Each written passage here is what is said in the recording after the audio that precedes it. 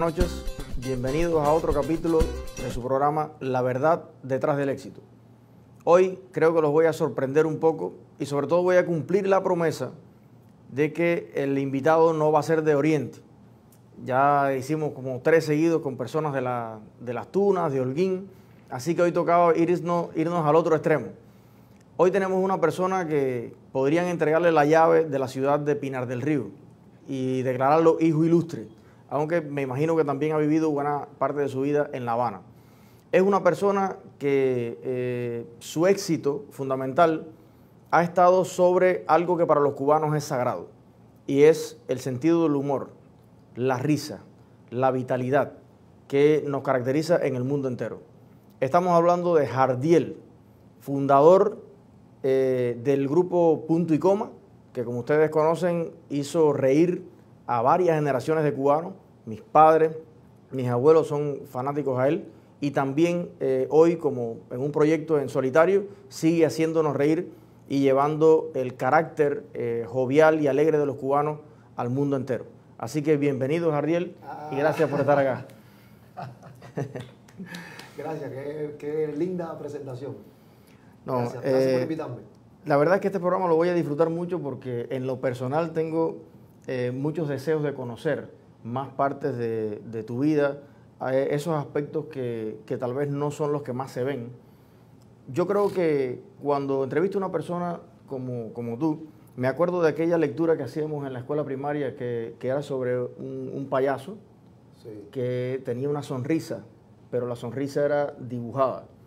Y me imagino que en muchas ocasiones en tu vida eh, has tenido un choque de emociones.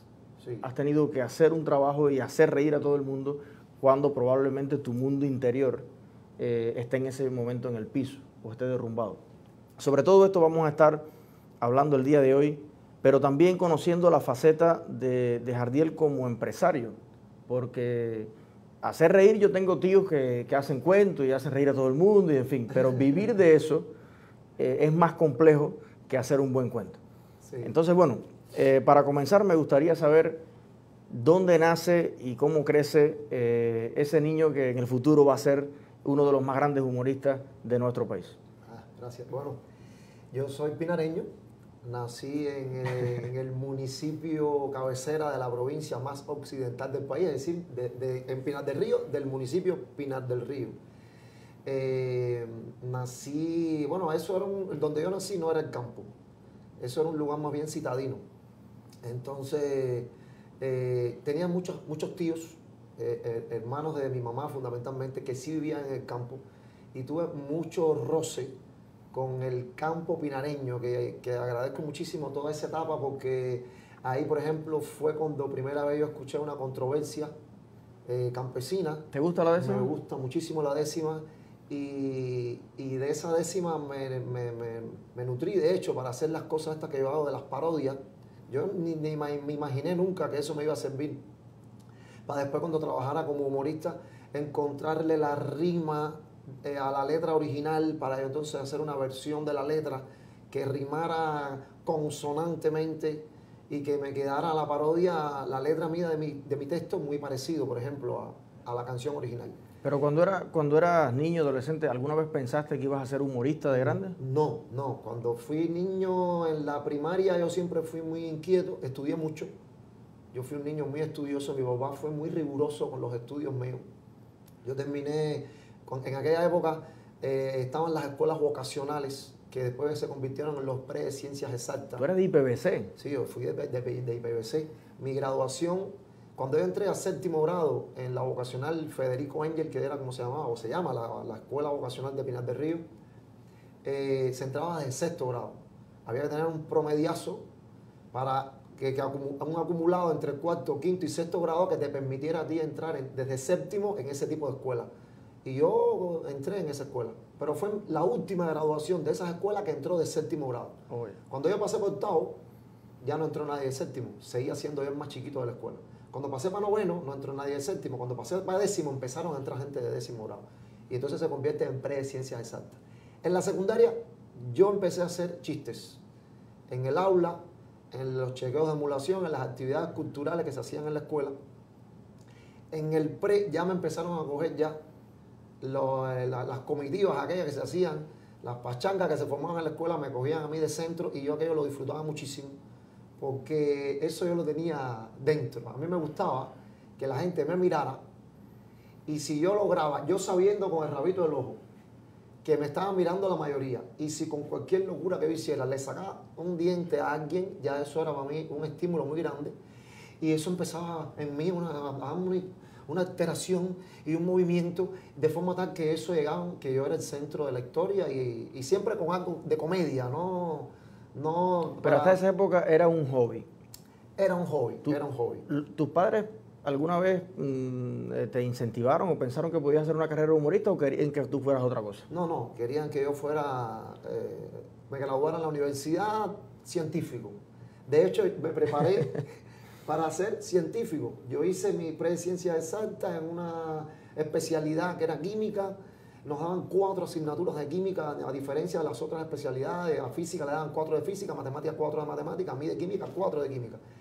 Y entonces eh, me estimularon, me ayudaron muchísimo para que yo terminara mi preuniversitario, para que de Minas Río fuera a La Habana a estudiar a la universidad, que lo que estudié fue licenciatura en farmacia. Yo soy licenciado en farmacia y después cuando terminé la carrera hice una maestría en química farmacéutica, pasé no sé cuántos cursos de posgrado.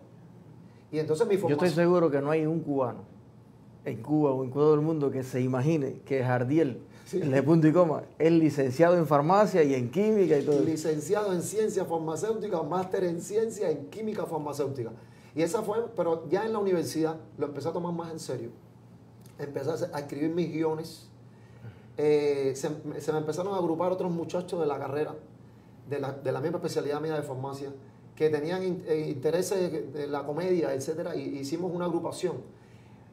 Cuando yo fui niño, yo no sé si tú viviste eso, había un, una- un programa televisivo que se llamaba Tía Tata Cuenta Cuentos Mm, un programa televisivo de títeres que se llamaba Tía Tata Cuenta Cuenta. Y en ese, en ese programa televisivo de títeres había un grupo musical de títeres que se llamaba Los Yoyo.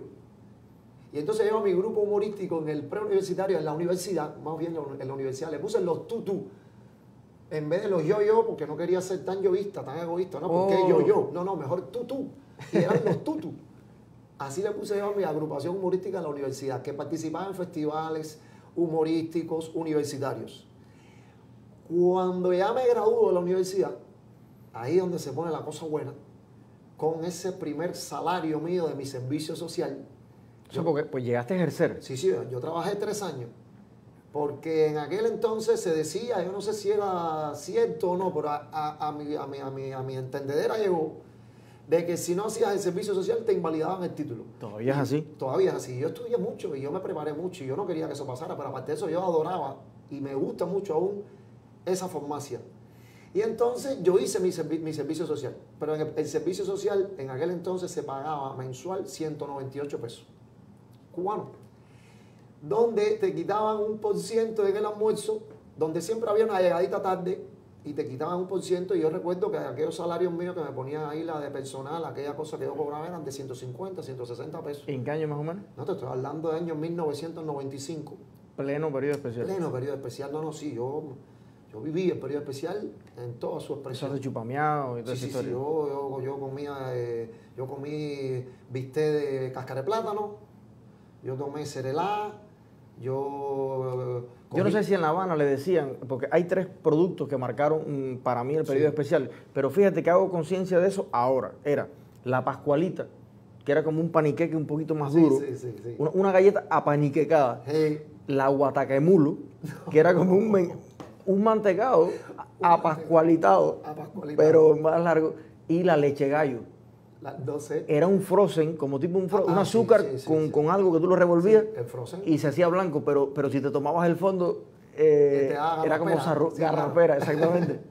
Sí, sí, eso se ve, eso lo viví todo yo. Yo viví, yo llegué, a- yo llegué a La Habana en, el, en pleno 1990, que yo recuerdo que para caminar dos cuadras tenía que ir de la mano de alguien porque yo no sabía ni, ni dónde yo estaba ahí cuando me soltaron en el vedado, que yo, Guajirito Pinar de Río, que nunca en mi vida había hablado por teléfono, que nunca en mi vida había pero por visto- ninguno, ni por el de... Nunca en mi vida yo había hablado por teléfono.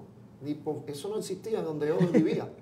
yo iba, yo no podía hablar por teléfono, yo tenía que ir a casa de mi mamá, que era tres cuadras, yo iba a, verle la cara, para que yo le iba a llamar por teléfono, aparte de eso en mi casa no había teléfono. Mi primo, yo tenía un primo acá, eh, bueno, allá en La Habana, que estaba a una cuadra de mi escuela. Y yo le podía llamar, de la beca donde yo estaba becado, yo le podía llamar del teléfono público de mi, de mi beca, pero yo no me hallaba hallando llamándolo por teléfono. Yo nunca había hablado por Prefería ir caminar y ver. Yo caminaba, cruzaba el túnel de calzada, que se podía caminar porque había una cerita por al lado por donde pasaban los carros. Llegaba ahí a Miramar, que se me metía en su casa, le decía lo que le iba a decir y miraba. Porque eso yo no le había hecho. Mi primer telegrama, el primer telegrama que yo le pasé a mi papá, yo lo llevé para La Habana, escrito ya. o sea, tú fuiste el cartero y el, Exactamente. Mi papá me lo escribió. Estoy bien. Papá, estoy bien. Él me lo dio así todo, escrito todo, con el papá estoy bien, yo me lo llevé para mi, para mi abuela, para mi escuela, y cuando yo fui, hice la, cola del correo, lo entregué, pagué y me fui. Papá, estoy bien. Eh, ¿Qué te estoy diciendo con todo esto? Eh, nos quedamos en, la universidad. Cuando me graduó, que paso el servicio social, que me ponen el salario ese, yo dije, bueno, espérate un momento, aquí hay que hacer algo.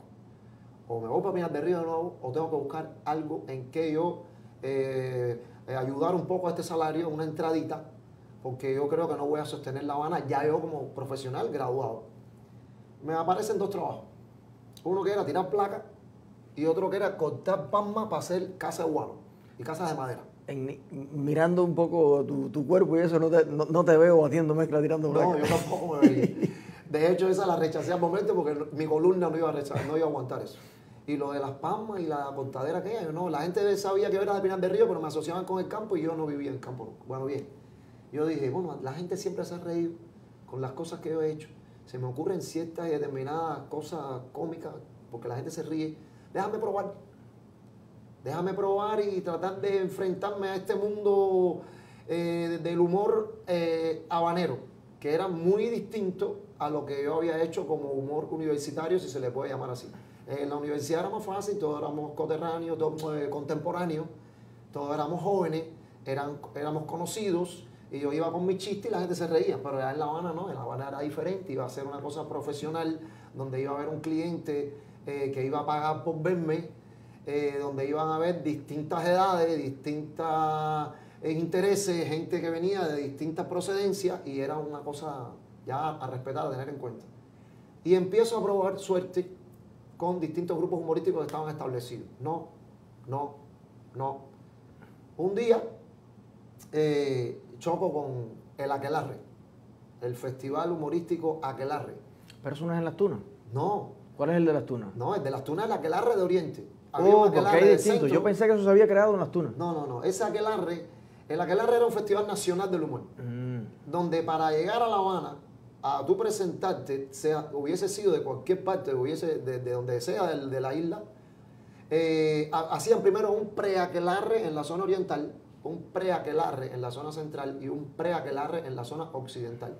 De ahí había un jurado que determinaba Pinar del Río, eh, La Habana Campo, cuando aquello, que ahora es Mayagüez, Artemisa, y Matanza, bueno, tú, tú, tú, tú, de, de, Occidente, tú, tú del centro, tú, tú de Oriente y se iba a La Habana, en los teatros de La Habana se hacía una programación y los humoristas hacían su, performance.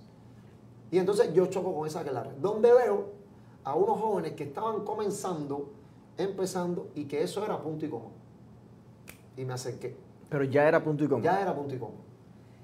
Eh, yo me acerco y le digo, eh, mira, yo escribo, yo tengo, porque cuando mi papá me da a mí el dinero para yo comprarme mis zapatos para la graduación de mi farmacia. Yo ese dinero lo invertí en un bongo. Y lo que hice fue que me puse un par de zapatos usados, me metí atrás de una mesa para que no me vieran los zapatos, cogí un puntero bien largo y con ese puntero fui tocando lo que yo iba diciendo de mi tesis para graduarme porque me daba pena salir de atrás de la mesa y que me vieran los zapatos, porque los zapatos estaban muy malos. Pero ese dinero yo lo invertí en un bongo porque a mí me gustaba mucho la música y quería hacer humor musical, esa era la onda que me gustaba a mí. Y le digo eso a los muchachos de punto y coma, mira, yo tengo un bongo, escribo, yo soy afinado. Bueno, también vamos a vernos para ensayar, vamos a vernos, puede ser, enséñame lo que tú escribes, qué sé yo. Y hicimos un ensayo, eso fue el día 16 de enero de 1996. Y a raíz de ese ensayo se une ese piquete Ya te fui- aceptan. Es el primer grupo que te dice que sí. Fuimos cinco, sí, fuimos cinco.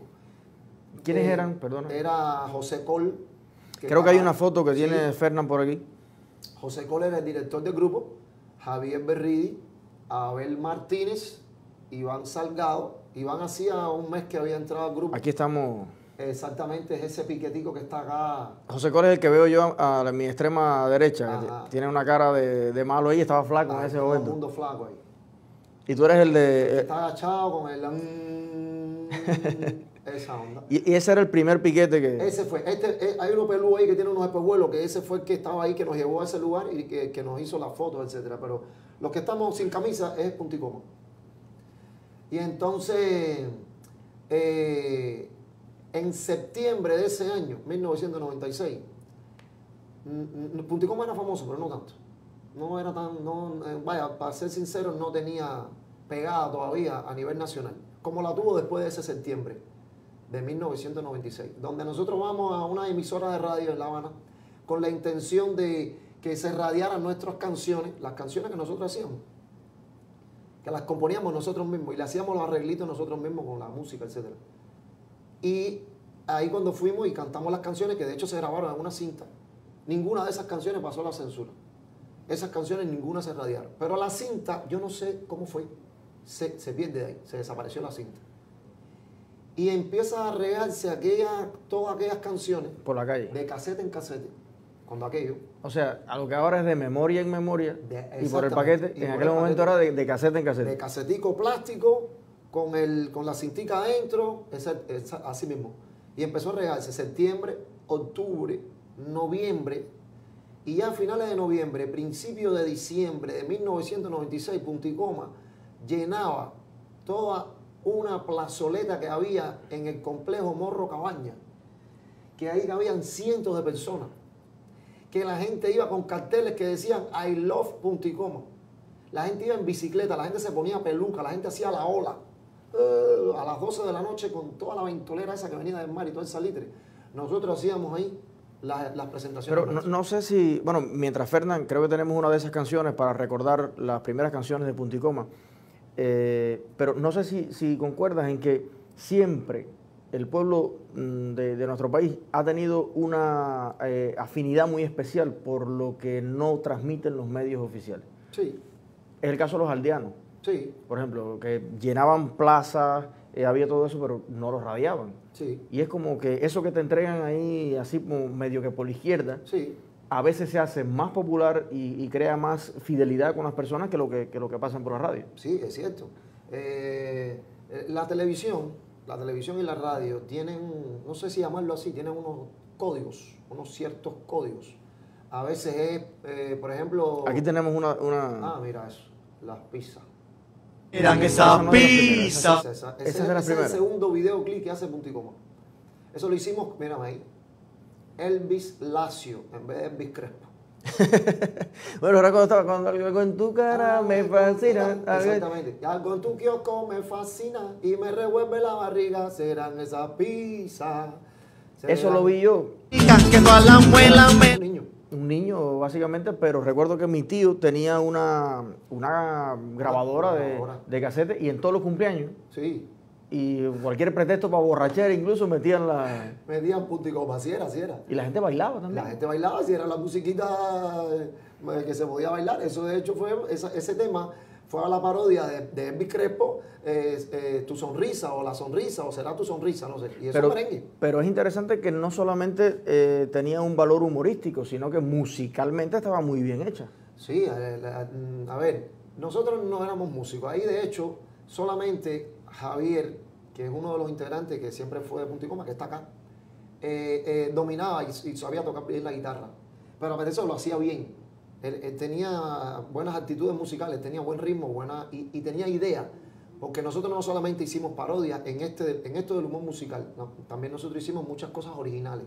Es decir, que nosotros creábamos la línea melódica y le hacíamos el arreglo eh, musicalmente. Y este muchacho llevaba eso, era la columna vertebral del grupo cuando se hacía ese tipo de trabajo musical. Y sí, quedaba bien. Yo tocaba mi bongo, eh, por allá se tocaban las claves, así había una maraca, después apareció una marímbola que era como un bajo eh, campesino, con, con- con- con unos flejes, y eso enriqueció un poco más musicalmente la agrupación. Y sí, la ¿Y gente bailaba. cómo, cómo ocurrió en esas primeras etapas cuando ustedes empiezan a tener ya éxito, a ser conocidos en toda Cuba? Porque hay, hay, un, hay un proceso. Primero, eh, cuando las instituciones, sobre todo en aquella época que no es esta, eh, observan que hay un trabajo que rompe el molde, la, la primera eh, reacción siempre es censurarlo y no, no aceptarlo. Pero cuando ya llegas a ser famoso sin las instituciones, hay un momento en que te llaman las instituciones entonces. Sí, eso pasa. Pero con nosotros no fue tan así. Demoró más. No, al contrario, fue bastante rápido. Eh, eh, yo recuerdo que se hizo, es decir, Punto y Coma cogió ese boom en el finales de 1996. En el año 97, si mal no recuerdo, hubo ya un programa humorístico donde la concepción del programa tenía un escenario. Era humorístico. Había un escenario, había unas mesas donde supuestamente había un público que estaba, que iba, estaba a la espera de lo que se iba a presentar en ese escenario y donde los chistes ocurrían en el baño, donde había una señora que cuidaba el baño, en el camerino, donde había una camerinista y habían gente que era el guionista y que llamaba a los artistas para que llegaran. En Yo el- recuerdo ese programa. Se llamaba Dulce Paripé, se llamó así, Dulce Paripé. Eh, Sabadazo empieza por ahí. Sabadazo fue mucho antes. Sabadazo fue año 91, 90, yo, yo creo que 91, 92, 93, Empieza. sí, empieza. Porque ya yo tenía, yo, yo recuerdo perfectamente Sabadazo, donde conocimos a Rami, a- había toda una... Eso fue mucho más, después, eso fue después. Yo- fíjate que yo no recuerdo, yo no recuerdo Sabadazo ya en, en finales de la década De los 90. No recuerdo, no recuerdo bien. De hecho, nosotros nunca fuimos a Sabadazo. Yo no, yo no, no, no tengo recuerdos así de Sabadazo después del 97, 98, no lo recuerdo. Ahora, pero Punto y Coma es, es previo, durante o después de la época de estos eh, humoristas ya también consolidados, como Antolín el Pichón, Cabo Pantera. ellos- ellos- no, Pa- Pantera después.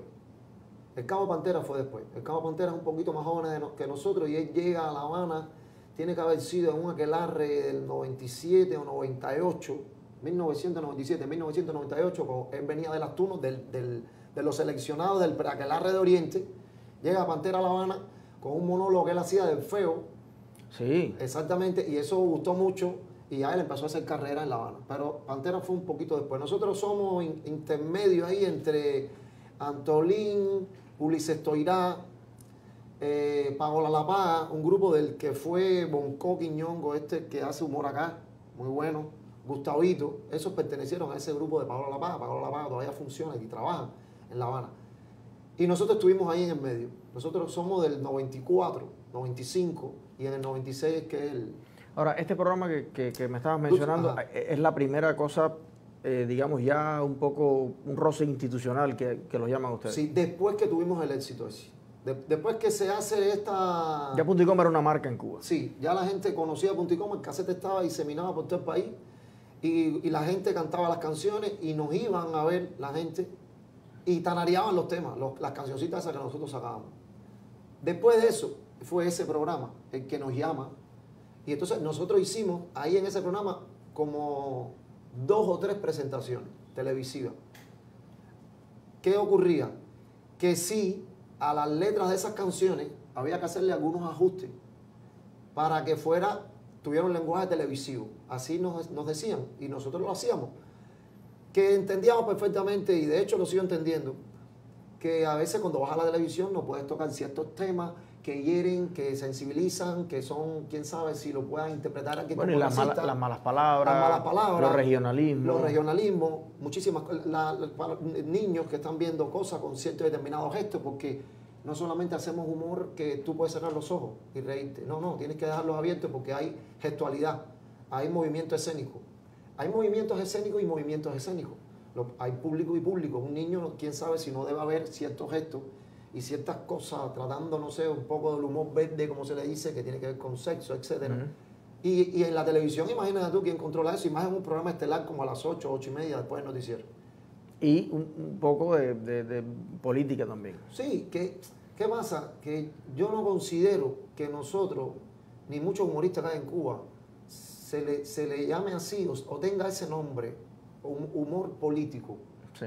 Yo no considero eso. Yo considero que es más bien eh, sátira social, eh, crítica social, de la cosa cotidiana, de, de lo que vive el cubano, que no lo, lo nombraría yo, no lo categorizaría, ca- no sé, me enredé, como humor político. No Pero fíjate que, ¿qué pasa? Que en una sociedad, no sé, en España o en, en México, en cualquier lugar, Guatemala, ahora el que está de presidente, eh, Jimmy Morales, Sí. era una persona que se dedicaba, eh, era de profesión, payaso, Sí. humorista, y él se dedicaba precisamente a burlarse de los políticos. Y hay muchos programas, de hecho en Francia hay un programa muy, muy, muy eh, famoso, que ahora se me olvida el nombre, que es precisamente eh, imitar los gestos, los discursos, pero, pero con una carga eh, fuerte de crítica, de esto. Ese, ese para mí es el humor político. Eh, sí. Pero en una sociedad como la nuestra, las personas enseguida dicen humor político cuando no estamos acostumbrados a mirar por, por la televisión una forma de crítica que evidentemente tiene responsables. Y entonces cuando alguien, lo, lo que pasó en el teatro Carlos Mar, el monólogo este que se ha hecho viral en internet del Bacán, Lo de Chipre. lo de Chipre, eso es sen- sen- sen- sensacional. Pero bueno, entiendo que un humorista no tiene por, por qué necesariamente encasillarse en un tipo de humor. Tú puedes, de hecho, a mí me impresionó mucho eh, conocer a, eh, al Bacán, bueno, le seguimos diciendo el, el- Sí, sí. el Bacán, pero eh, eh, yo no sabía que había publicado 14 libros Sí. y que es un intelectual de, de tremenda línea, un amante de los campos cubanos que le ha dedicado eh, estudios antropológicos a, a- a pueblitos de Holguín y de algunos lugares. Entonces, por eso me parecía interesante conocer un, un- un poco más de, de tu historia, porque a veces lo único que hemos hecho es reírnos Sí. de, de lo que han hecho los humoristas, pero eh, la vida que tienen detrás y cómo han logrado producir todo eso, yo creo que es digno de admirar. Y por ahí va la, próxima pregunta que, que te iba a hacer. Eh, bueno, empiezas a hacer este, este- este programa en televisión y demás, pero ahora que estamos hablando de la televisión ya eh, como televisión profesional, desde el punto de vista económico, ¿cómo eh, cotejar los compromisos cuando tienes un, un programa de televisión, por ejemplo, aunque no sea lo que más tú hayas hecho como, como trabajo formal, pero, pero estás en el medio? ¿Qué da más resultado económicamente, la televisión o la parte privada del ejercicio del humor? En Cuba. Sí. Sí, sí, no. El- la televisión en Cuba no, no se hace con fines económicos. Por lo menos los humoristas no, no es el caso. Yo no sé si pudiera haber, no, no tengo mucha información ahora mismo, ahora mismo, ahora mismo, porque tengo entendido que han habido aumentos de los salarios, aumento de los pagos a los artistas, que hay rangos y hay categorías, hay figuras, hay superfiguras, hay dentro de un programa mismo el animador, el conductor, el moderador, eh, gana más que, por ejemplo, uno que tenga un momentico del programa donde haga una, no sé, una pincelada. Ahora mismo no sé. Pero en la época en que yo hice televisión, que hice televisión por 13 años consecutivos en programas habituales, desde el 2001-2002 hasta el 2013, yo estuve trabajando en la televisión en programas habituales. El programa, un programa juvenil donde fui conductor de programa y moderador que se llamaba Moverse. Después trabajé en El Expreso con Gloria Torres, primero con Albertico Puyol y después con Jorge Martínez. Después del Expreso hice uno que se llamó La Noche Favorita, después La Hiena Ilustrada y después el Cabaret de Enfrente. Eso fue consecutivo, no hubo mucho tiempo entre que paró un programa y comenzó el otro. En jura decir la verdad, no. no. En juro decir la verdad, fui como invitado un día. En el programa este de Pánfilo fui como invitado un día. Pero no eran programas habituales. Esos programas habituales, que, también en la televisión cubana hay, dos, dos, dos sectores, se divide creo en dramáticos y musicales. Y entonces lo de dramático creo que hay un mejor pago a los actores, etcétera, y a todo lo que se trabaja como dramático. Y en la parte musical es diferente. Cuando en un programa musical, que era la mayoría de los que yo hacía, hacías algo dramático, un momento, un sketch dentro de un programa musical, no era el mismo salario que tenía uno que hacía un programa dramático. Pero para, para poner los pies sobre la Sí. tierra, ¿qué podías ganar al mes por la televisión? Yo no recuerdo bien ahora, pero por eran programa, sí, o- muy poco dinero. Era poco dinero, era muy poco dinero. Alguien me habló de 100 pesos por Es programa. posible que haya sido un poquito más. Yo no recuerdo, era mensual. no recuerdo si era 300. ¿Al 300, Al mes, 300 algo. Bueno, ya los 100 pesos por programa a lo mejor es después del aumento que tú estás mencionando. Puede ser, puede alguien, Yo conozco varias personas que trabajan en la, en la televisión. Sí. Me llevo muy bien con algunos. Un presentador que presenta noticias, una serie de cosas, ¿no? me dijo que él ganaba 100 pesos cubanos por... eh, ¿A- actualmente? Sí, él salía todos los días. Entonces, bueno, mm, cuando tú dices 3 mil pesos al mes o 2 mil y pico, Sí. más otras cositas, filma un comercial por aquí, otro por allá, lo malo es cuando lo llevas a CUC. Claro, claro, claro. Porque tú dices, bueno, gana 3 mil pesos, no, el tipo tiene una... Pero, Pero mil pesos es pero si no- 120. Sí, cuando nos conocimos digo, bueno, pero tú no tienes ni una bicicleta. Y dice, no, no, no.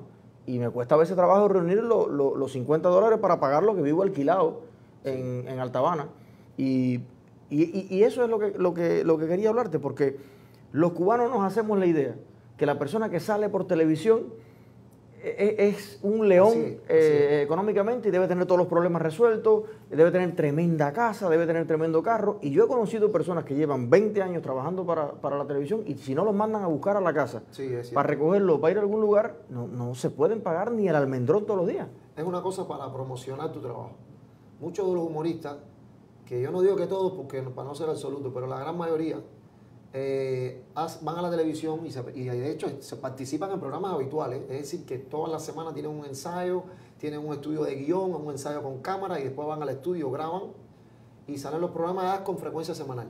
Esos programas, una gran cantidad de humoristas lo hacen para estar en la televisión, para estar en el vídeo, como se dice, en la pantalla, que Cuba los vea y bueno, salir entonces a hacer su actuación y sus presentaciones como solista o como agrupación. Punticoma, específicamente Punticoma, y yo que me consideré Punticoma siempre, eh, no, eso no nos tocó a nosotros. Nosotros eh, no- nos llamaba la gente, nos contrataban, que de hecho era de lo que vivíamos, de las contrataciones, de las actividades que se hacían en teatro, en centros nocturnos, en plaza, en casas de cultura, de eso era que vivíamos nosotros. Nos llamaban porque la gente sabía o se había enterado de una manera que no había sido por la televisión, que nosotros existíamos, que éramos humoristas y que la gente se reía mucho y que arrastrábamos público.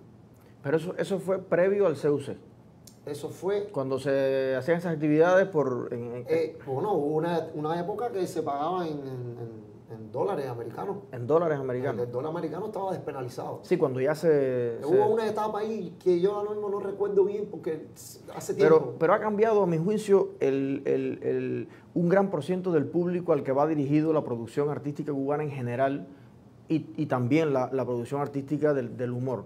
En el sentido de que hace, creo yo, 15 años, final de los 90 o algo así, todavía los grupos de primera línea, eh, tanto musicales como grupos humorísticos, podían presentarse en este pueblito, en el otro, el otro, y a lo mejor se cuadraba con cultura o con los carnavales de la ciudad y le daban, no sé, 20 mil pesos cubanos, o 15 mil, o 10 mil, y eso en aquel momento tal vez era dinero, o se podía hacer, pero con la- el incremento del turismo en Cuba y de los residentes extranjeros en Cuba y de todo esto, la verdad, eh, tú rectifícame si Sí, estoy sí, sí. equivocado, creo que se ha creado un nuevo mercado. Un nuevo mercado que mm, ha puesto unos estándares en, en precio de entrada, en todo eso, que no, no es lo que ya puede ser accesible para, para mis abuelos, mis padres allá en el, en el Yarey, ¿no? Entonces, eh, hoy para, para ver un humorista de, de- de los que están rankeados en Cuba, Sí. la mayoría de los lugares donde se presentan, primero se abarrotan. El propio café, el café TV y demás. Y el que no, mínimo 5 dólares, ¿no? Para, Sí, pero eso no es así absolutamente. Por ejemplo, te voy a poner un ejemplo.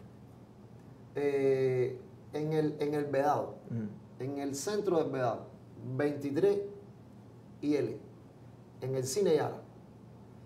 Eh, yo no sé por qué razón. Siempre yo vi que, y sé que Yara es un cine.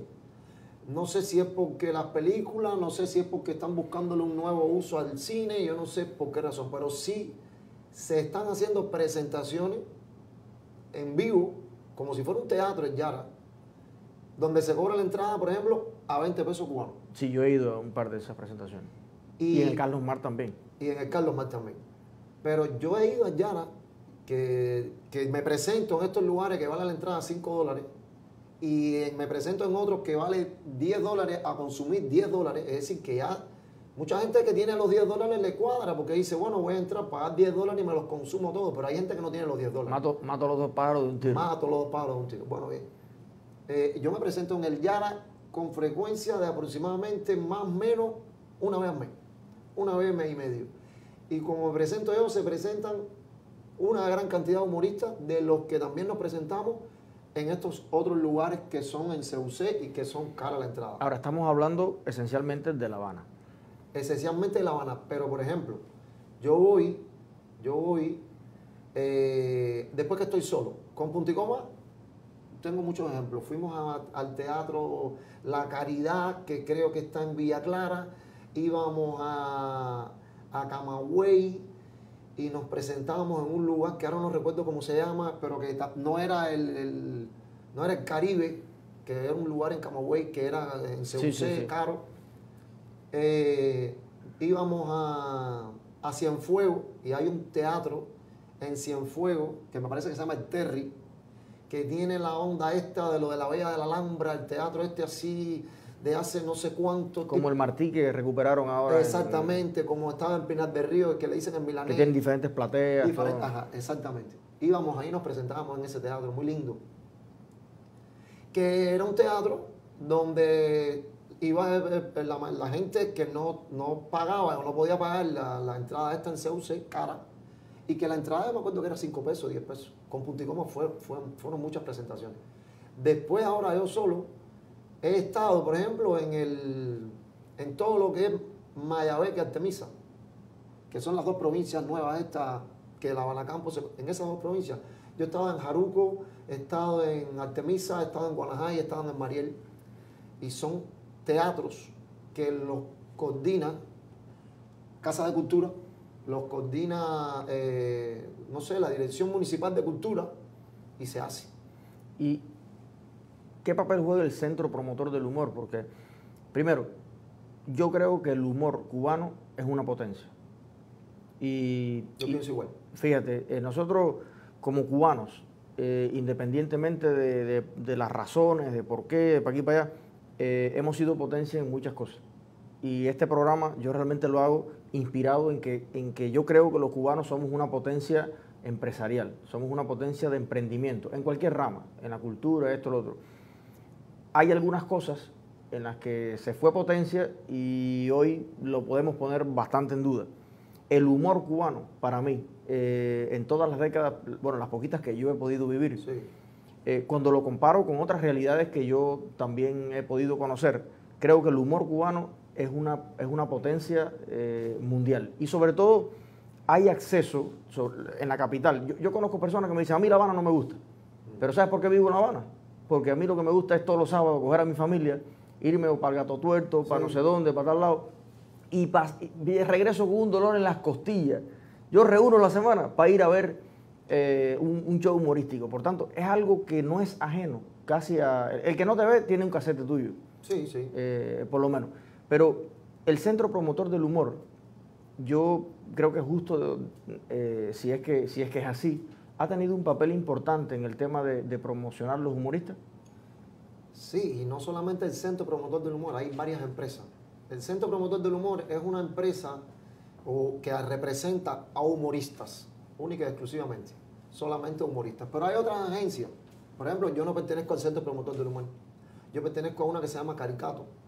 Y Caricato es una agencia que no solamente tiene humoristas, tiene también eh, agrupaciones danzarias, tiene declamadores, tiene eh, payasos, tiene, eh, tiene actores que, no son, que no, no- en general actúan en cualquier cosa, no, no tiene por qué ser humor. Hay humo- humoristas, actores, hay, como te decía, agrupaciones, agrupaciones danzarias. ¿Qué, ¿Qué hay de positivo?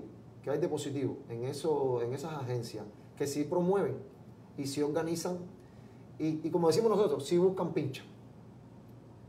Por mediación de esa agencia eh, llega una llamada o una propuesta. Mira, eh, me llamaron de tal provincia que van a hacer un evento, puede ser un carnaval, puede ser una, una fiesta popular, puede ser un- una, una conmemoración de alguna fecha de un lugar o una región en Cuba. Me llamaron pidiéndome, eh, ¿cómo se llama? Eh, eh, un elenco artístico, talento artístico, para yo llevarlo allí. Y te propuse a ti, humorista, te pro- propuse esta agrupación, danzaria y propuse a, este o a esta para que conduzca el espacio. Y bueno, apareció un trabajo donde me van a pagar y yo, gracias a la empresa, llegué. El centro promotor lo hace, pero que es netamente con humoristas. Por ejemplo, el Carlos Man, que es el teatro más grande de Cuba, que tiene una gran capacidad, eh, está vivo con el humor ni hablar. El, público capitalino y que pueda eh, tener acceso de las provincias más cercanas al Carlomán, porque ahí parquean guagua y parquean camiones de gente que viene de- del campo y se parquean ahí en el Carlomar y ven a Pánfilo y ven a la gente de- en su momento de jura decir la verdad, en su momento de sabadazo, en su, ahora actualmente casi todos los meses hay una función o un espectáculo humorístico que agrupa varios humoristas, que todo eso es promovido por el Centro Promotor del Humor. A mí me gusta mucho, eh, este, eh, mm, yo soy muy malo para los nombres, Eh, el que hace el, el, el ¿Doy monólogo, Dios? el, No. el- bueno, bueno, Dios también, pero el que hace el monólogo de los leones que están fagados en el zoológico, eh, que trabaja mucho con el, el Pichi y el Nene, eh, Eh, Otto Ortiz. Otto Ortiz. Sí, sí. Eh, a mí me, me encanta porque se nota que es una persona muy, muy creativa, inteligente y siempre está creando proyectos. Bueno, eh, Eso tiene el humorista cubano. El humorista cubano tiene eso. El humorista este de nuevo tipo, yo no sé si es así a nivel internacional, pero eso, nosotros nos creamos nosotros nuestras mismas cosas. Las escribimos, las inventamos, las montamos, las diseñamos, eh, la entrada, la salida, la despedida, el- dónde va la luz, dónde va el, movimiento escénico, es- la música, eh, eso lo, lo- o sea que el, hu- el humorista cubano Es un todo en uno, Es, ¿eh? to- es todo en uno. Sí, sí, es un todo en uno. Vamos a hacer una, una pausa para eh, agradecer a las personas que nos están viendo. Había más de 400 ahorita y casi 400 ahora en vivo. Mm, Me dicen que no lo estás compartiendo por tu plataforma. Así que aprovecha, mientras doy los saludos, coge el teléfono, busca la página eh, Eliezer Ávila en, en Facebook y ahí nos puedes compartir. Me, me tienes que enseñar ahí. Sí. Se lo puedo pasar a. No, si se lo das abierto, lo- él lo puede hacer. Ya. Ok. Sí, sí, estoy un poco atrás con. Bueno, em, nos dice Eris Concepción Kikutis, no sé si lo conoces. Eric. Eris Concepción, sí, es un es todo ya un personaje de las noches nocturnas de Miami, Sí, eh, un showman, sí. cantante, Ay, eh, conductor, en fin, dice, me encanta este espacio, al fin tenemos algo así, con sentido del respeto a las personas, donde no tengamos siempre que acudir al monotema cansino, donde conozcamos a las personas de verdad y donde no solo se hagan preguntas mediocres. Un abrazo a Jardiel. Ah, igualmente, gracias. Ok, dice eh, Juduarte, punto y coma fue la agrupación humorística más censurada en esos años. Pregúntenle a la Peña del Vera. A la Peña del Vera. Sí, una- eh, bueno, sí, puedo, puedo comentar si quieres. Sí, Sí, eh, eh, eh, Vera era, era un muy simpático, un, un profesor de física que era humorista. Y que, y que siempre lo que nos decían cada vez que íbamos a la peña de Vera, que las hacía, esas peñas las hacía en su escuela, en la escuela donde él trabajaba, él hacía sus peñas humorísticas donde invitaba humor y él hacía humor ahí. era este muchacho que leía, eh, como que se hacía muy serio y leía un- un- como un monólogo así. Bueno, no sé, puede ser. eh, que es matemático, estudió matemática en algo No, así. no. ¿Sabes cuál es el que te digo? Que, no, que es calvo, que se sentaba en una silla. No, ese, ese yo creo que es Bacallao. Ese Oh, ya. Me parece que que me dice es Bacallao. Pero no, este ya es, es- es un poco mayor, ya un poco mayor. Eh, el hijo es muy famoso en Cuba, eh, Verazaín, por eso le dicen el Vera, Oh. Verazaín y este Verazaín. Adrián Verazaín. Ah, ese, exactamente. Es el papá de Adrián El papá de Adrián Verazaín. Profesor de diseño del libro. Prof- sí, fue profesor de, de física. Él, él fue profesor de física en el Instituto Superior de Diseño Industrial. ¿Y por qué?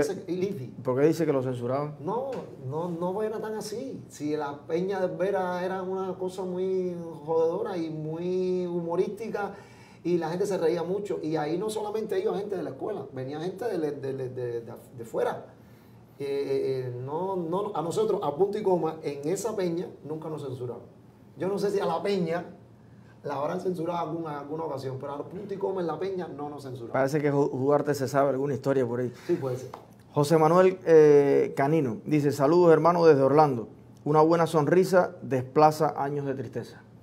Mírenme, mírenme, mírenme, mírenme, mírenme, mírenme, mírenme. Yo- dicen que a las damas no se le pregunta, pero a los caballeros sí. ¿Qué edad tú tienes, Ariel? Ah. No me digas que eres sensible No, a esa no, pregunta sí, también. Porque aparte, contrario. hoy empecé con un halago cuando te vi y te juro que no fue un cumplido. Sí, Cuando te vi antes de la presentación en el Teatro Artimes, sí, estabas estresado, man. muy. Estabas ojeroso, eh, acabo de llegar, pero, pero como, como tenso.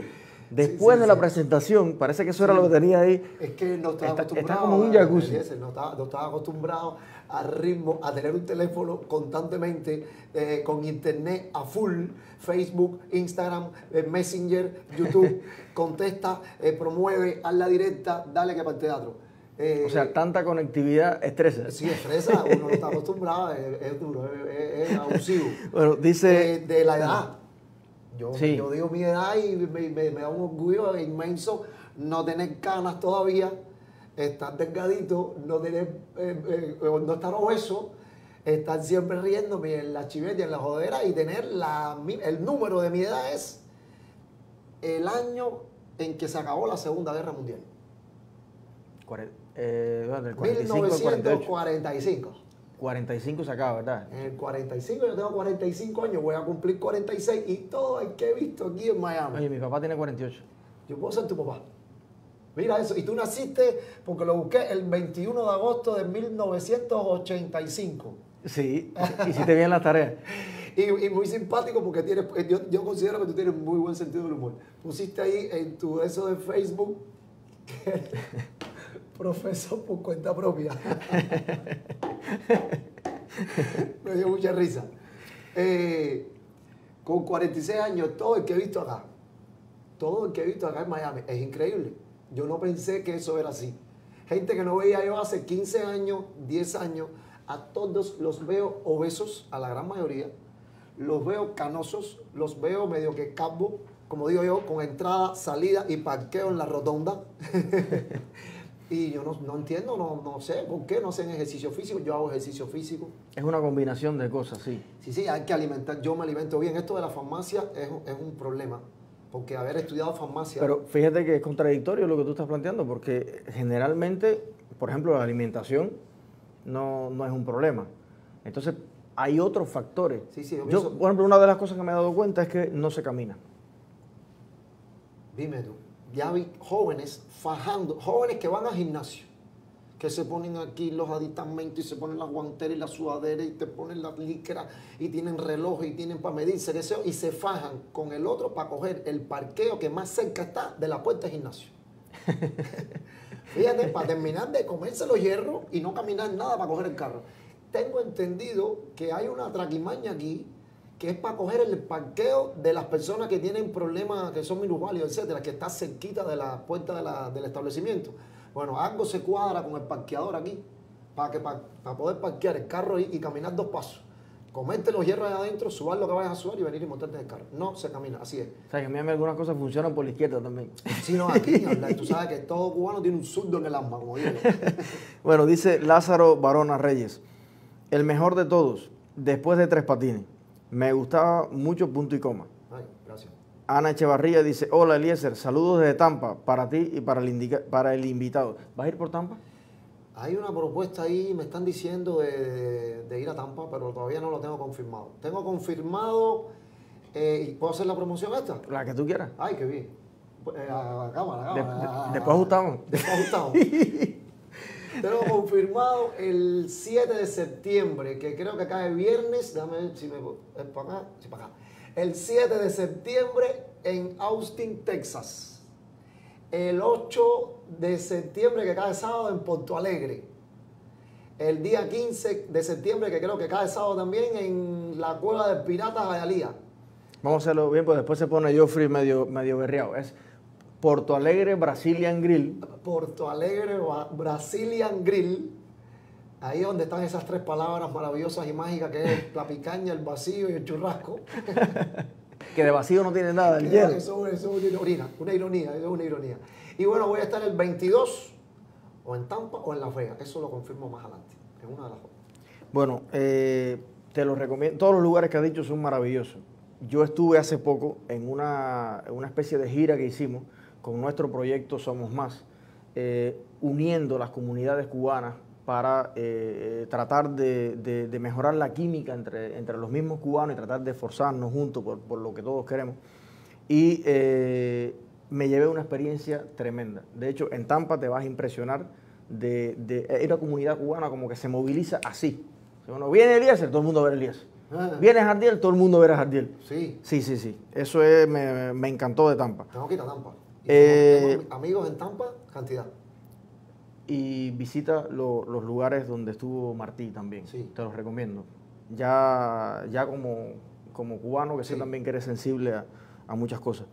Ana Echevarría, eh, bueno, Hilario eh, Mota Salcedo dice saludos desde Madrid. Ahí lo tienes desvelado, con seis horas de diferencia, viendo de Madrid. Sí. Y dice Rainel Ortega, las canciones fueron en su tiempo lo que se le llamaba viral en la actualidad, Sí, es así. pero viral en casete. En casete, increíble, caballero. Qué cosa más loca. Bueno, vamos a entrar ahora en un tema, eh, Jardiel, que siempre eh, es, es tema nuestro aquí con, con todos los invitados, porque el programa también trata de todas las personas que en Cuba hoy tienen 18, 20 años, que tienen el bis eh, para el humor que tú tuviste en tu tiempo y quieren ser artistas, quieren triunfar. Yo no sé si tú tienes o no tienes dinero, pero para mí el éxito eh, trasciende el asunto del dinero. Yo pienso igual. Yo creo que tú tienes el amor de un país, tienes la admiración de varias generaciones que cuando piensan en los mejores momentos de su vida, en los momentos en que mejor la pasaron, estoy seguro que tú estás presente y punto y coma también en, en muchos de esos momentos. Sí. Eh, tal vez cuando quisieron eh, eh, tumbar una novia por primera vez, pues estoy seguro que ustedes fueron pretexto para muchas de las mejores cosas y de las peores, y de las peores también. Pero quiero preguntarte, Jardiel, la familia. Tú eres un empresario, a fin de cuentas. Sí, es una pequeña compañía que se llama. Jardiel, eh, donde yo, sí, funciona así. funciona. Pero yo creo que los cubanos tenemos que empezar a hablar el lenguaje del mundo. Sí, Porque en Cuba todos esos términos, compañía, empresa, no sé si te ha pasado que la gente va a Cuba a veces y tú, y tú le dices, bueno, ¿y qué haces allá? Y dice, no, yo tengo mi propia compañía. Y uno cree que es que es un warehouse, una fábrica, Sí, una no. cosa con miles de trabajadores. No, tú entras a, a internet y pagas, creo que son 103 dólares y eres dueño de una compañía. es dueño de una compañía. Pero eh, en Cuba a veces le tenemos un poquito de complejo al asunto de, de vernos como, como empresarios. Pero Que en el sido mundo artístico no es así, en el mundo artístico se, es decir, tan delante. sí, sí, sí, exactamente. La compañía Jardiel González, la compañía, la compañía, la compañía, sí se mane- maneja así el término. Bueno, los artistas, la verdad, que fueron los primeros que incluso eh, exportaron su trabajo Sí, y, y eso hay que eh, es admirable a mi juicio. Ahora, ¿cómo mm, tienes tienes dos hijos? tengo dos hijos, Jairo, Hay una niña preciosa que Sí. tiene, bueno, va- vamos a ver, vamos a ver un videito de la niña tuya y ahí ahí comentamos. Ah, sí, sí. Hola, yo soy Lili, mi mamá es Coquita. Lo que yo también tengo papá. Y papá es Jardiel, el que participó en el grupo de Punticoma. Y bueno, ahora está solo, entonces él es el punto. Hola, yo soy Lili, mi mamá es Coquita la mamá. Lo que yo también tengo papá. Para- mi papá es Jardiel, el que mejorada de la participó en el grupo de Punticoma. Y bueno. Como digo yo de mi varón, mi varón es una versión mejorada mía. Pero es verdad, lo vi, no pudimos bajar un video que teníamos de, de tu hijo varón que ya es un, ya es un hombre. Tiene 19 años. Sí, y, se, ¿y a qué se dedica? Tienes que adivinar. Te voy a dar tres posibilidades. A ver. Te voy a dar tres posibilidades. Tienes que adivinar a qué se dedica mi hijo y te voy a dar una pista para no llevarte tan recio. Eh, está más o menos por la cuenta del padre, Ok. pero tienes tres posibilidades para adivinar. Muy sencillo, eh, lo hemos hablado aquí, no, no es tan complicado. A ver. Cantante. No. Fallaste una. Humorista. No.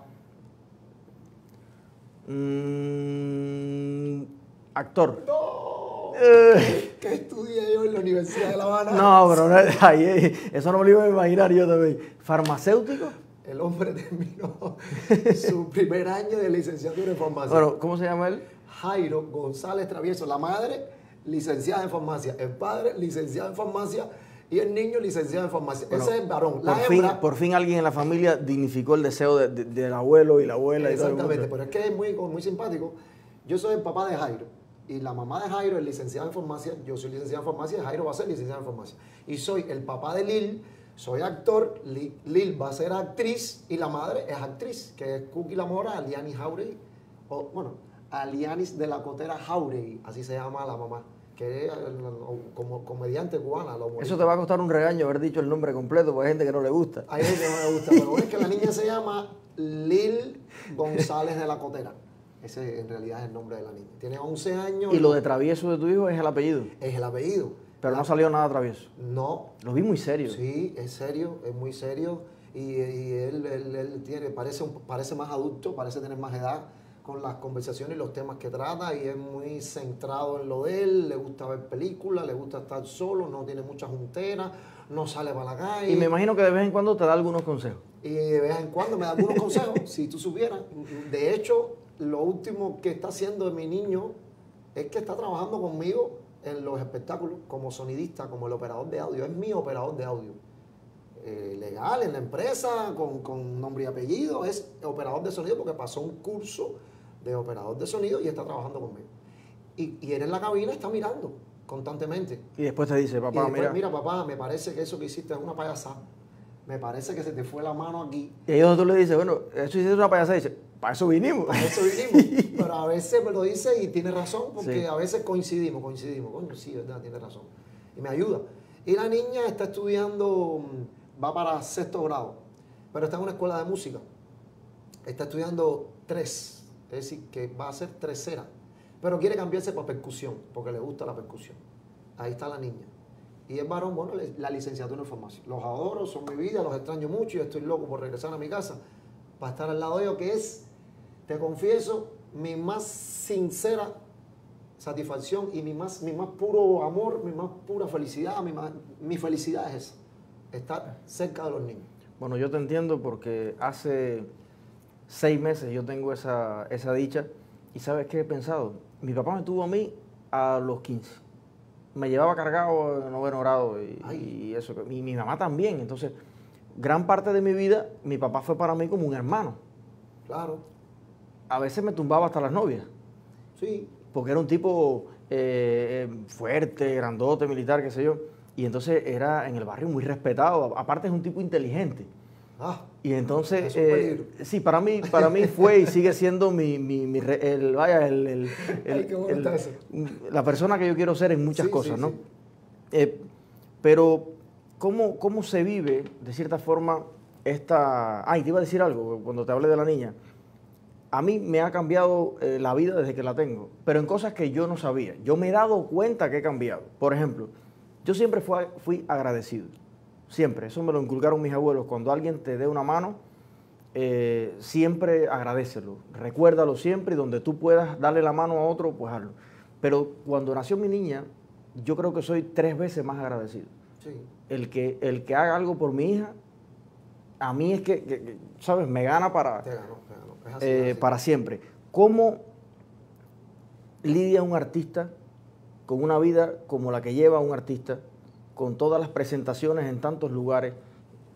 Y esta es la verdad detrás del éxito. ¿Cuál es el costo familiar real del éxito como, artista? Eh, es complicado, es muy complicado. En, en- en mi caso específicamente, donde yo, donde yo me pierdo de mi casa y donde yo me alejo de mi familia. No tanto con giras internacionales, porque no es así. No tanto con giras nacionales, porque tampoco es así. La mayoría de las veces que yo me alejo un poco de La Habana, de mi casa, eh, es poco tiempo. Pero el problema está en que mis espectáculos comienzan a la una de la madrugada. Esos espectáculos que son la mayoría de los que hago comienzan a la una de la madrugada. A la una de la madrugada se para un presentador en un escenario y dice, y ahora para ustedes, el plato fuerte de la noche, Jardiel con su espectáculo. Porque es toda una estrategia Sí. para que las personas ya estén, eh, vaya, ya Y- consumido. Y, consuman, y, y es la vida nocturna esa de La Habana. Yo, yo no sé si debe ser acá igual, eh, el de la mayoría del- de, de las capitales del mundo, me imagino que sea así. Espectáculos que son tarde. ¿Eso qué me trae? Como consecuencia que me acuesto a las 3, me acuesto a las 3 y media. Tienes que dormir el resto. Tengo que dormir. Entonces llega la hora de las 7 de la mañana, que es los niños para la escuela, y yo estoy muerto, eh, me levanto para almorzar, pero cuando los muchachos están llegando de la escuela y que quieren, eh, no sé, interactuar conmigo, jugar conmigo, yo estoy en una fase ahí gris, que estoy medio apagado, que necesito hidratarme, comer, dormir un poquito, prepararme porque ya viene la noche y tengo que salir a las 10, 11 de la noche, me tengo que ir de la casa. Muchas veces no lo veo ni cuando se acuestan. Incluso los fines de semana, porque el fin de semana es, es, de hecho, el, el día por excelencia de las No presentaciones. un sábado en, en 22 años que yo llevo en, en- en este mundo, yo no, no tengo recuerdo así de la película del sábado, la tanda esa que se pone en Cuba de películas lo- la- las noches de sábado. No, yo no tengo, no tengo recuerdo así, vivencias de haber visto en mi casa con mis hijos y con mi esposa la película del sábado. El, sábado que es el día, porque ya el domingo hay que acostarse temprano porque el lunes por la mañana hay que. Y el viernes muchas veces eh, eh, todavía estás cansado de la escuela y los muchachos se acuestan temprano, pero ya el sábado se levantan tarde y se acuestan tarde los niños. Ese sábado yo lo, lo- lo- lo perdí. Ese, eso ha sido para mí, y, y que ese, ese tiempo no se recupera. Es el talón de Aquiles de, de este tipo de trabajo. Sí, sí, eso es- ese- esa es la parte débil, la parte fea, Ahora, la parte... se, se supone que, porque a mí, a mí me pasa, yo no soy artista, pero soy emprendedor. Yo siempre he sido emprendedor. Yo hice una fábrica de chorizo, eh, helado. Eh, yo tengo eh, una pasión política, no sé ni siquiera si vocación, pero tengo pasión por, por la política, por ejemplo, y le dedico mucho tiempo a hacer mis propuestas, a conectar con más cubanos, en fin. Pero le dedico siempre, toda mi vida le he dedicado tiempo también a hacer algo para ganarme la vida de, de una u otra forma. Pero aún con eso, que no es la vida de, de un artista, eh, es difícil la, la convivencia, por ejemplo, eh, en- con la pareja. Porque la persona que no tiene a veces la misma pasión que tú tienes por algo, ella la tiene por otras cosas, por supuesto. Y no hablo de, mi, de, mi, de, de Rachel, que, que- que es mi relación actual. Pero nos ha pasado a todos que, que somos un poco incomprendidos en ese terreno. Le pasa a muchas mujeres también Sí. me, me imagino. Pero lo que suele pensar la mayoría es que si los dos son artistas, o los dos son empresarios, o los dos son tal cosa, dicen, resuelto el problema, ¿no? Porque ya se comprende. Pero yo creo que es dos problemas. Sí, Porque entonces, las dos horas que a lo mejor tú tienes al día que puedes hacer, entonces ya está en otro ciclo. Que cuando tú llegas, ella se va. Es así, es así. De hecho, me pasó a mí. La mamá de mi niña eh, eh, es humorista. Un excelente humorista también. Sí, y- y cuando ella llegaba de Camagüey, yo me iba para Santi Espíritu. Y cuando yo llegaba a Santi Espíritu, ella se iba a Villa Clara. Y ella tenía en las noches presentaciones, tenía la filmación de una novela, y tenía la filmación de una película, yo tenía mi trabajo con punto y coma, y tenía mi gira, y tenía mi madrugada. Y eso me pasó con, con, con, con Aliani y con mi otra esposa, que no tenía nada que ver con el arte, siempre había taberizar, porque eh, muchas, muchas chicas cerca, muchas fotos eh, intrigosas y mucha cosa media que... Y lo que nadie se imagina de las personas que están conectadas, casi 400 igual, es que Jardiel no toma alcohol. No tomo alcohol, nunca en mi vida me he dado un buche de ninguna bebida alcohólica, ni de cerveza, ni vino, ni alcohol. Nunca me he puesto un cigarro en mi boca de ningún tipo, nunca nada, nada, de nada, de nada. Pero el que te ve con el relajo que tú formas en el escenario, a lo mejor no se hace la idea, y por eso nos parece tan, tan, Mira, divino miope. poder hacerlo. Nadie se hace la idea que tú eres una persona que eres casi un monaguillo fuera de ello. Yo soy miope, yo soy miope. Yo siempre usé lentes de contacto. En el morro, en el morro, había tremenda ventolera, tremendo salitre y con los lentes de contacto duros se me ponían los ojos con una irritación que no te puedo explicar. Se me ponían los ojos rojos. El único no había tomado ahí ni un trago para calentarse ni nada porque no me gusta, porque el alcohol me, el da picazón en la nariz, la cerveza me sabe a cartón de libreta. Oye esto, ¿por qué no toma cerveza a las 10? Porque la cerveza me sabe a mi marca, me sabe a cartón de libreta. Cuando yo cogía los cartones las libretas de mi aula, de las libretas de mi escuela, cuando me los metía en la boca, y así, y se lo tiraba a la pizarra, que quedaban, can, que se pegaban, los tacos de que uno tiraba, así se llamaban en la escuela, ese sabor me quedó. Y cuando tú- yo fui adolescente, que me tomo mi primer buche de cerveza, la memoria me hizo así, me buscó en el circuito reverberante, ¿qué cosa es esto? ¿Qué cosa? Cartón de libreta. No, yo no, yo no puedo tomar eso. y me doy mi primer buche de alcohol y me recordó una vez a una operación que me hicieron a mí de una glándula salival donde vino el médico que con un algodón lleno de alcohol y me, y me hizo así en la cara me contó la respiración de tal forma que yo pruebo el alcohol lo bueno, y me recuerda aquello tan negativo que fue mi operación a sangre fría prácticamente de mi glándula salival no quiero saber del alcohol ni quiero saber de la ¿Y cerveza qué tomas? ¿Refresco? No, yo no tomo ni refresco, porque como estudié farmacia y pasé un curso de dietética y nutrición, las bebidas gaseadas hacen daño. Los conservantes, Los dan- conservantes y la gaseada que si hace un problema en el estómago y tiene un problema en el, en el riñón, entonces no comas cosas fritas, no como cosas fritas. Entonces, ¿qué, qué tomas y qué comes? Ahí está. Tomo agua, trato de comer frutas.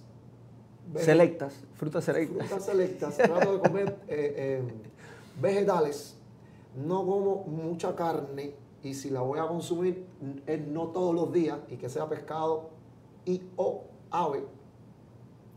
Y trato de que sea cuando la cocinen que no sea frita. Y no trato de no comer carne de cerdo ni el mojo que el cubano tiene cinco cosas que es un problema. Y por eso tenemos muchos de nosotros los cubanos bueno yo no pero muchos cubanos tienen esos problemas de salud Pero ya me estás El asustando. punto de sal, todo, muy alto. todo me estás asustando porque todo lo que has dicho que tú no comes, tú le entras yo le entro. oriental al fin Esto es increíble. Jardiel, el humorista cubano, dándonos consejos de dietética. Sí. Esto, esto solo pasa aquí. No, pues el punto de sal del cubano es muy alto, el punto de azúcar es muy alto. La grasa del cubano le echa todo grasa y fuma y toma. O sea que es Padre Nuestro. Como y latinos, Espíritu en fin, la mayoría de los latinos somos así. Eso hay que tratar de, de- de echar a un lado. ¿Y Entonces, haces ejercicio? si hago ejercicio, hago plancha, hago abdominales, hago cuclillas. ¿Tienes six pack? eh, No se puede mostrar aquí, pero sí, pero tienes. eh, sí, No, pero todos tenemos. Se, se ve, sí, sí, un poquito, un poquito. este- sí, corre. Sí, corro, hago un ejercicio que lo hace muy poca gente que se llama la L. Hago una L. Es decir, me sostengo en los brazos, levanto los pies y me sostengo ahí haciendo una L y a eso hay que tener Aquí hay mucha gente que hace una L, pero con la barriga. con la barriga. Sí, sí, no, no, aquí yo vaya ni hablar. Te decía ahorita que con los ojos rojos en el morro la gente me decía a mí, vaya flaco, vaya, estás encilindrado, vaya flaco. Y el único, que, el único que no había tomado es un traguito porque no, vamos a los lugares, o íbamos a los lugares y nos ponían una botella de ron, mira, para que calienten la voz, para que se den un buchito, líganla con refresco. Todos los demás muchachos hacían del grupo, se tomaban el buchito de, de alcohol. Yo no me lo tomaba. Y a mí era el que me, me gritaba la gente, estás encilindrado, tomaste flaco, estás arrebatado, por los ojos rojos de los lentes de contacto. Y Bueno, hoy, hoy yo creo que este programa ha derribado todos los mitos de lo que nos podemos imaginar eh, que pudiera ser la vida de Agdiel o de cualquier otro artista. Y antes de hacerte las dos preguntas eh, finales, quiero agradecer a Mauri, eh, diseñador de puertas de garaje. Fíjate las cosas que los cubanos lo presentamos aquí hace dos días. Un cubano que ha tenido alquilado camellos en el Sahara, que sus dos primeros negocios fue vender orines de la tía diabética en Cuba para que le dieran dietas a otras personas. Vendió el orine de su tía diabética para que fueran a policlínica. Pero eso es cierto. No, no, eso es cierto. Y alquilaba piojos de un primo para que eh, eh, los muchachos fueran y le quitaran la escuela del campo, porque tenían piojos. No, no, esto es un, un- un personaje que a mí me, me ha encantado conocer. Gracias eh, por hacer posible este programa y también a Miguel, don Miguel, dueño de la bodeguita de Jayalía, donde no te puedes perder eh, probar el, el, el sazón. ¿Sabes que está la bodeguita del medio? Sí. Eh, bueno, aquí hay una bodeguita de Jayalía que es el, el símbolo de lo que es la, la alta cocina y un lugar, y además es un lugar muy interesante porque es el lugar donde se cierran negocios. Todo el que por ahí está cuadrando algo, va, se da cita en, en la bodeguita, entonces eh, eh, tiene esa, esa aureola de que allí se han cerrado muchos grandes negocios eh, en esta ciudad. Jardiel, dos preguntas. Uno, ¿te consideras un hombre exitoso? O sea, ¿tu vida ha sido coherente, coherente con lo que te hace feliz? Sí, sí, eh, porque más que todo hago, hago algo, es decir, me gano la vida con algo con lo que me divierte mucho, eso me divierte mucho. Yo, yo considero que eso que yo hago no es un trabajo, yo no lo veo así. Yo, yo voy a esos espectáculos y me presento en esos lugares donde voy a divertirme. Y yo pienso que ahí es donde está el éxito precisamente, en que como me divierto yo, eh, se divierte la gente, eso se transmite, eso uno lo irradia.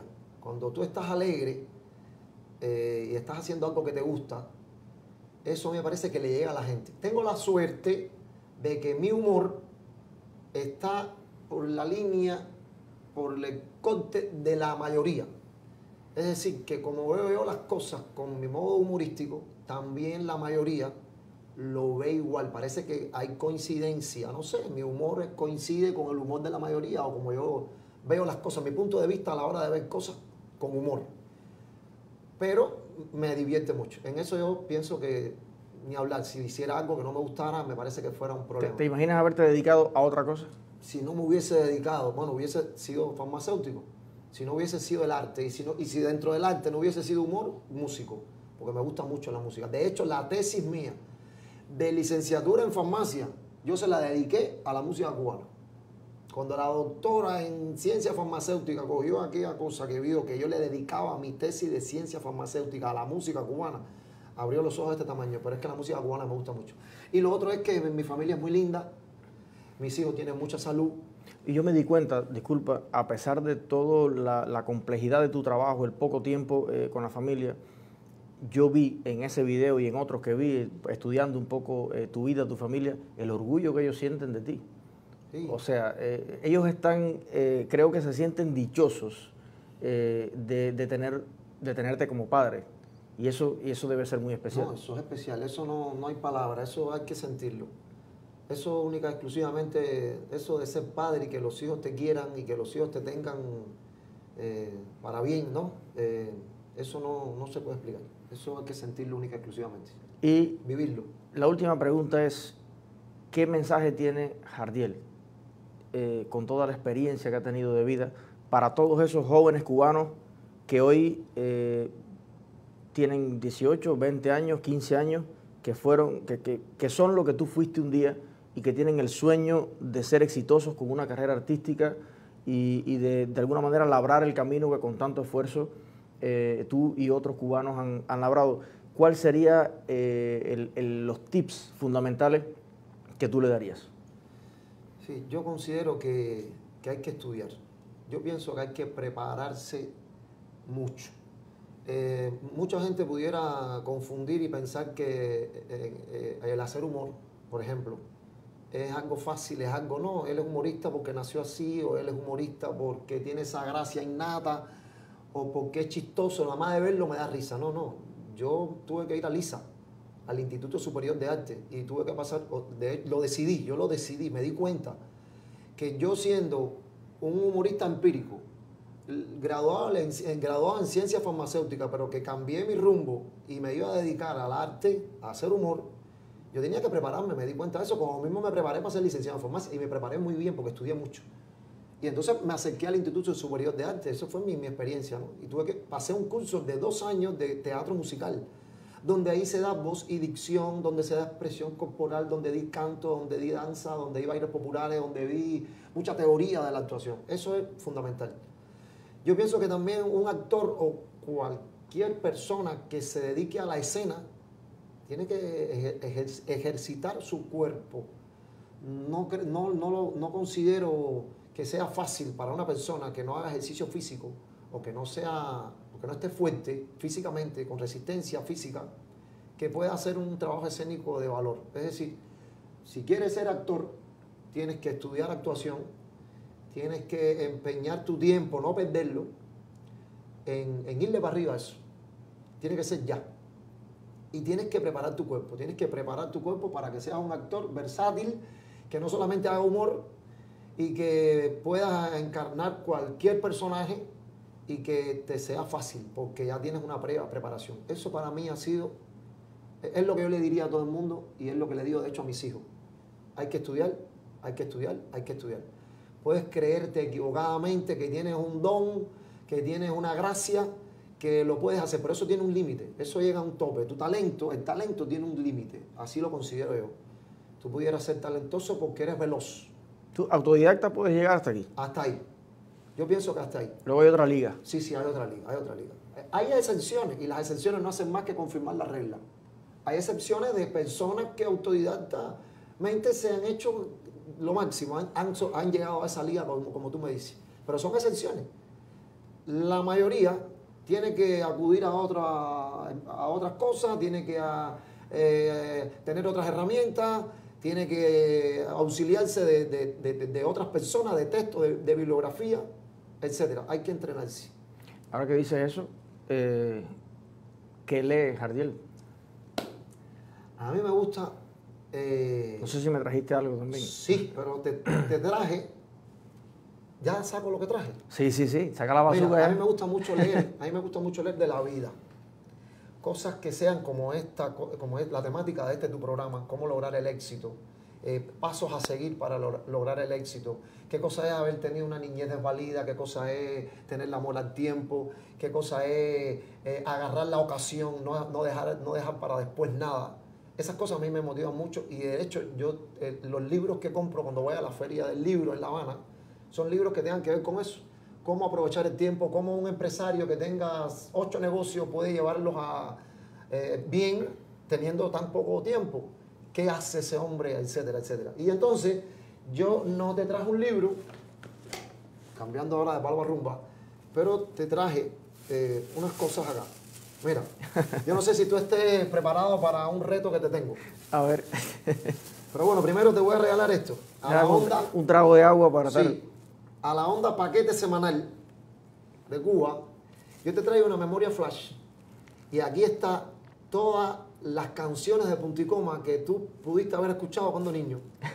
Ahí están todos esos temas y los videos, los primeros videos que hizo Punticoma, que yo sé que aquí están en las redes sociales, pero están ahí, es posible que haya alguno ahí que no esté en las redes sociales, porque los tengo yo, porque los atesoro. O sea, como- esta es la antología.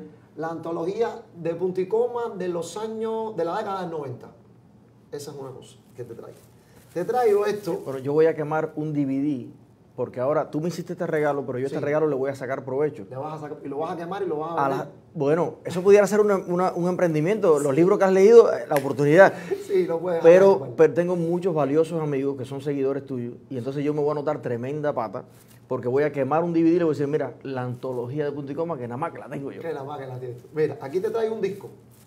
Esto es un DVD que están todos los videos míos, esos videos que yo he hecho, que he hecho mucho. Pero vuelvo y te digo, te preguntaba al inicio, no sé si estés tú preparado para este reto que yo te voy a poner, como yo lo hago en el show. Yo te voy a dar el disco, pero tú tienes que cogerlo con la misma parte del cuerpo con la que yo te lo dé. Y es muy sencillo. Ah. te voy a regalar, te voy a regalar esto, que para mí es una cosa que no, no, no, no, siempre está conmigo. Esto es un peso cubano. Esto es un peso cubano de a uno. Que lo adoro, que es el que más me gusta, es precioso, es lindísimo y tengo siempre un peso cubano conmigo. Te voy a regalar un pomo de agua, Ciego Montero, que traje de La Habana. un pomo, yo sé que aquí está la de Sedano, pero este es Ciego Montero de La Habana. Pero que cara, que, ¿qué tiene esto? Que esto no tiene, porque tú vas a decir, coño, este muchacho ahora va a venir con un pomo que es en dólares, que vale en La Habana. No, no, no, no. Esto tiene adentro agua hervida que me la hierve mi, mi esposa. Fíjate, te voy a dar un pomo de agua Ciego Montero con agua hervida de mi casa, que es la que yo tomo que parece que es comprado en la tienda de pomo, pero no, tiene sus trucos. La prim- el primer truco, Eliezer, tienes que echarle el agua hervida fría. Si se la echa caliente, te chupa el plástico. Ya nadie te cree que es comprado en la tienda. Segundo truco, tienes que fregarle la tapa. Porque si de la manipulación le ensuciaste la tapa, nadie te va a creer que es comprado en la tienda. Y tercero, tienes que filtrar el agua, porque si se la echas acabada de hervir, te queda una bonoriguita blanca. Y no, esto es agua hervida de Marianao en un pomo ciego montero. y para que guardes todo eso, te traje esta javita cubana, que no tiene ningún comercial de nada. y que esto es una javita, tú sabes que allá en Cuba un chiste se dice, el, el- el- cuerpo del resto del mundo, de todos los extranjeros, se divide en tres. Cabeza, tronco y extremidades. El cuerpo cubano se divide en cuatro. Cabeza, tronco, extremidades y java. Que en, en las tunas le decimos cubarse, Cubarse y chillona. porque fue la, la primera cadena de, de- de tiendas que había. Y entonces te traje esta poesía, porque me gusta mucho la décima. Y te la quiero regalar. Cuba es la más genuina nación de diversidad. Cuba es la más genuina nación de diversidad.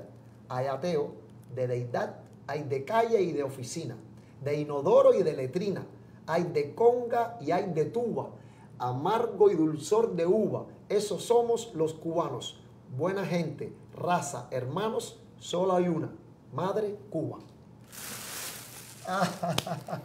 Gracias, Jardiel. Salud, salud para ti, salud. De ti. verdad que me ha sorprendido Ay, qué bien. tanto que estoy en shock casi. Gracias por todo, Jardiel. Qué bueno. Gracias a ti por invitarme. Bueno, eh, esta agua, ahora no sé si tomármela o probarla o hacer algo o guardarla. No, no, guárdala, guárdala y tómala. Sí, la voy a para que- guardar. para que exactamente. Qué bien. Yo creo que ha sido eh, indudablemente un programa de lujo el que hemos tenido hoy. Y siempre que entrevisto a, personas como tú, digo que con cada uno de ellos el orgullo de ser cubano me, sube un escalón. Siempre me he sentido dichoso de haber nacido en, en una isla tan pródiga de creatividad, de pasión, de empuje. Y cada vez que conozco más y más y más cubanos que han sacado adelante sus sueños, sus proyectos y que tienen una historia de la que podemos todos eh, tomar un pedacito para crear la nuestra, creo que somos eh, afortunados a pesar de todo, a pesar de todo lo que, lo que hay que cambiar para poder, para que más personas logren el éxito. Así que te agradezco muchísimo, Jardín, por estar aquí, por habernos confesado tantas cosas y estás invitado siempre. Esta, esta es tu casa. Gracias a ti, gracias a ti. Yo- eh, eh, Pepe, que trabaja acá contigo, yo lo conozco hace mucho tiempo, de Cuba. Y hay una anécdota muy simpática. Cuando la hija de Pepe, que tengo entendido que tiene 16 años hoy ya, eh, estaba en la barriga de su mamá, él nos lleva una, él nos cuadró un trabajo en Cienfuegos. Él estaba durmiendo con esa esposa, con su esposa, que estaba embarazada, y uno de nosotros del grupo le metió un extintor de apagar fuego por debajo de la puerta. Pepe estaba durmiendo y cuando vio toda esa neblina sale, ¿qué cosa es esto? Le dice el muchacho de Puntico, no te preocupes, que eso es para que la niña te salga bombero. Y entonces yo lo tengo en los contactos míos como Pepe Bombero. Porque le- se le hizo eso a Pepe y bueno, ajá, de- después de tanto tiempo, al cabo de tantos años, lo veo acá en, en, en este programa tuyo acá. Sí, yo creo que ya eh, esto, esto de, de la Cuba extendida Sí, eh, cada vez es más realidad. Eh, hay una cantidad de artistas, actores, que cada vez se hace más común ese intercambio de, la nación. Yo creo que el, lo- el- el pueblo se está reencontrando. sí. Y, yo creo que eso es una gran, eh, es una muy buena, muy buena noticia. Y creo que la mejor manera de despedir el programa de hoy, ya que tú me pusiste un, un reto a mí, eh, es, es con un chiste. Así que, algo que tengas por ahí, así que te salga. Rápido, rápido, rápido. No sé, allá en, Cuba nosotros hablamos mucho de, de, bueno, el boom este musical que ha habido ahora.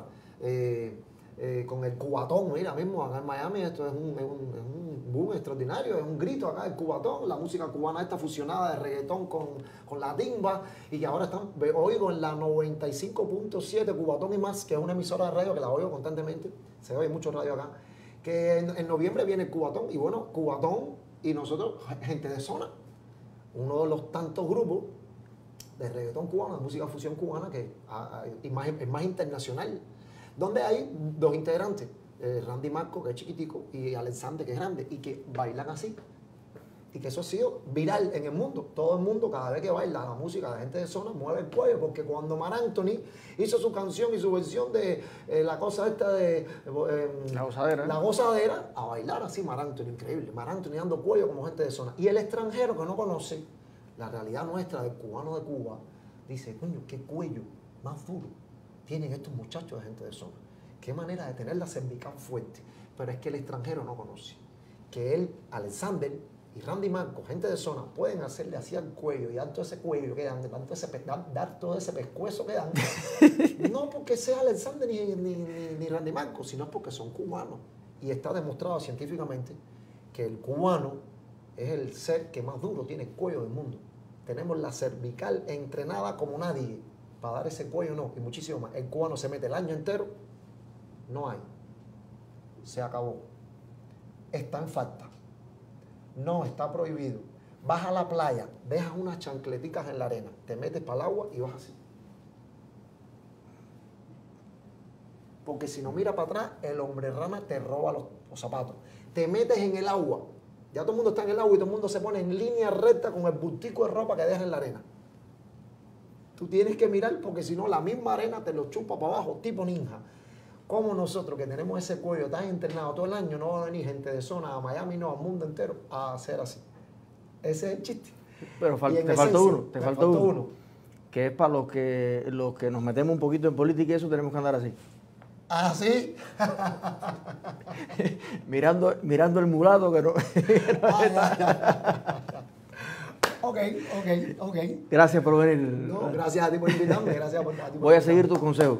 Sí, De la dieta, de los ejercicios y de todo. Claro y lo mismo les aconsejo a ustedes para que puedan llegar a casi 50 años con ese cuerpo y con, con ese cuerpo. ¿Ok? Así que gracias por estar ahí y nos vemos el viernes en una nueva emisión de Cubanos, la verdad detrás del éxito.